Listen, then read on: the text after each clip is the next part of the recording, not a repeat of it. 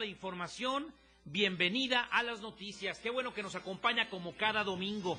Estamos iniciando la producción del programa 5123 de Con Valor y Con Verdad este domingo 13 de diciembre. Le quiero comentar que el Instituto de Investigaciones Económicas de la máxima casa de estudios pronostica para el próximo año inflación de 5% anual, crecimiento cero, 9 de cada 10 empleados en el país para población menor de 35 años, informa INEGI, pues no tendrán la posibilidad de conseguir una chamba. Esto es el terrorífico pronóstico para el próximo año. Yo por eso le pregunto, ¿qué opina? ¿Qué opina usted de los cambios en el gabinete anunciados esta semana que acaba de concluir? Dígamelo a través del 01800, otra vez 800 0970 o bien 5166 3403. Voy a repetir más adelante las vías de comunicación.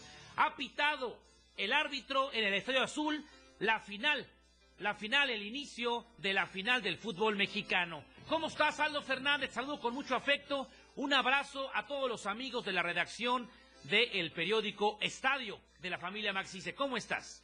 Mi querido Gustavo, qué gusto saludarte. Efectivamente, Marco Antonio Rodríguez ha silbado el inicio de los 90 minutos o más que se tienen que jugar esta tarde en la cancha del pletórico Estadio Azul con más de 40 mil personas.